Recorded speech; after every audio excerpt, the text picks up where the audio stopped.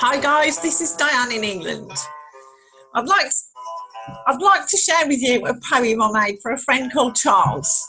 And he said he'd got a cat. So and his favourite, favourite tune in the whole world was the Journey of Bream Rodrigo. So this is take two because you couldn't hear the music the first time. Right. Charlie was a friendly cat. He talked a lot and wore a hat. In the garden, he'd chase mice around. And Julian Bream on guitar as a background. For, for every mouse he found, his owner would get a pound. Then he would get a steak for dinner because Charlie was an absolute winner. Just for fun, guys. See you soon. Bye.